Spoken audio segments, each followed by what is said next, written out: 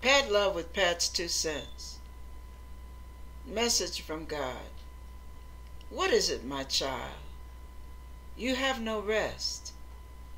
Is it hard for you to believe that you've been blessed? I am your God. I know how you feel. I have the power to heal. You must remember, your life is in my hands. I came that you might have life abundantly, to set the captives free, bind up the brokenhearted.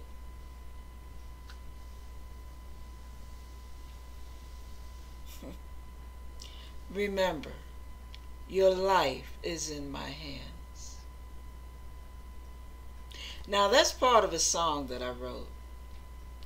And I really hope that it encourages somebody who may feel like the world's biggest loser, so to speak, or one of God's biggest losers. The Bible said that the race is not for the fast, for the swift, putting this in everyday language. It's for those that endure until the end.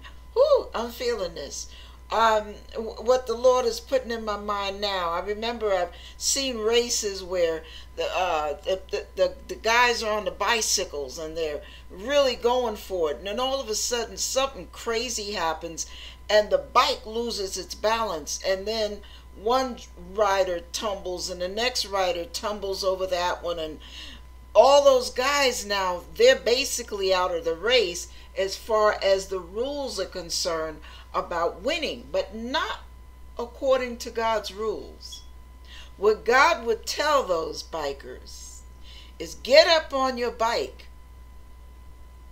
dust yourself off, and start pedaling. And you don't stop pedaling until you reach the finish line. It's not who reaches it first. It's not who's the fastest. It's not even who's the strongest.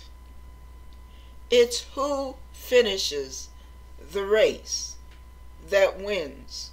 So even the one coming in last place, even if they have to walk their bike in because the bike has been damaged, they stay in the race until they cross that finish line. That is all God is asking you to do. He's not asking you to be perfect. He knows that is impossible in our flesh. That's why He gave us the power of His Holy Spirit. All He wants you to do is continue without giving up.